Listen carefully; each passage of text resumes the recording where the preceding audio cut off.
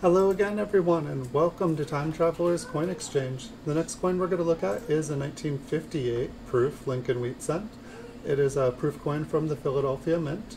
This one has been graded by PCGS. It's in a gold shield holder and they graded it proof 68 red.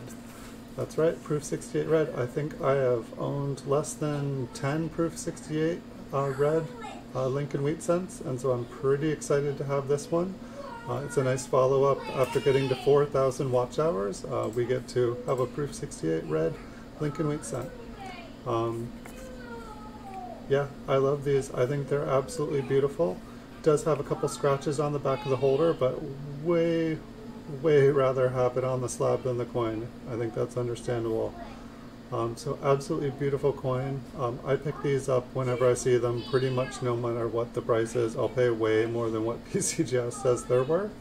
Um, if you guys ever have any of these for sale, let me know. Um, I love them. And yeah, I have a, a, batch of them. I'm going to try to send in a bunch of proof sellers, going to try to do a bulk submission, see if I can get a proof 68 myself. I'm guessing it's not going to happen, but I love proof 67 ones, so it'll be okay.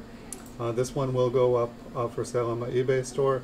It'll be at a price um, that essentially is I don't want to sell it, but it will be available for sale. Um, but I try to buy these, and these are this is something I collect to keep. But at the same time, um, I have another one of these, so it'll be up there for a price that probably no one will want to pay, and that's fine with me. I'm this is a coin I want to hold hold on to for a long time.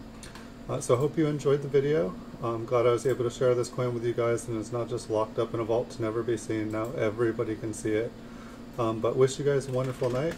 Uh, like, share, subscribe if you enjoy the videos, and I'll see you guys in the future.